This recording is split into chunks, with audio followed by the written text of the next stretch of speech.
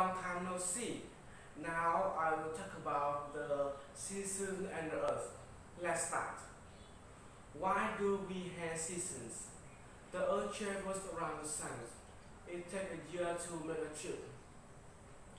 The earth axis doesn't point straight up and down, so the earth tilts or tips a little to one side on its travel.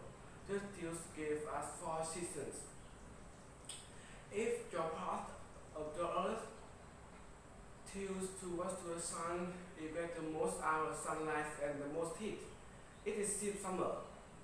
When the path of the earth you live on begins to tilt away from the sun, you get less sunlight and less heat. It is summer. Sorry, it is fall. When the path of the earth tilts still far away from the sun, you get even less sunlight and heat. It is winter.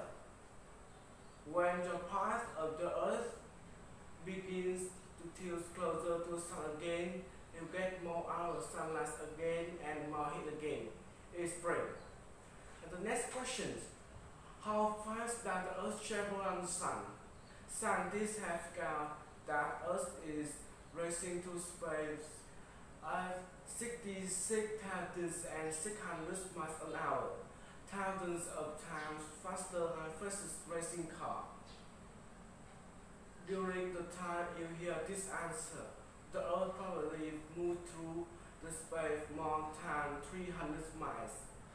This is the end of the vlog. Thanks for watching.